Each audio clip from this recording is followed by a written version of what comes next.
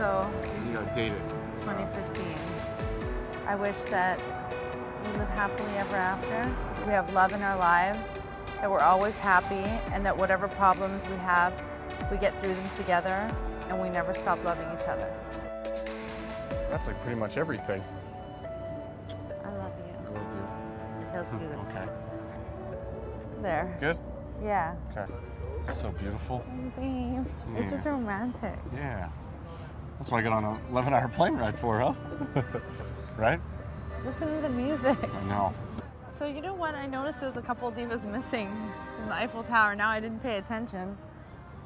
I feel like I don't even realize who was there. You know what I mean? Well, I noticed that Fox didn't come. Like, what's her deal? You know what I mean? Maybe she's just in a different spot in her life right now. Stuff keeps happening to make me think that we're not supposed to be friends. Yeah, I mean, I'd be very bummed. I mean, have you have you actually sat down and tried to talk to her about it? Like, I don't, I don't want to focus on that. I don't want her to go through one of her angry spurts again and scream at me again when I'm trying to enjoy. I, th- I think maybe you need to time with you. maybe you need to approach her just one on one, just you two, and, and just I'm tell her how you feel. She can come to me. Look at that, how pretty that is. That looks like some Harry Potter stuff. Should we get a selfie in front of We it? should so get a selfie.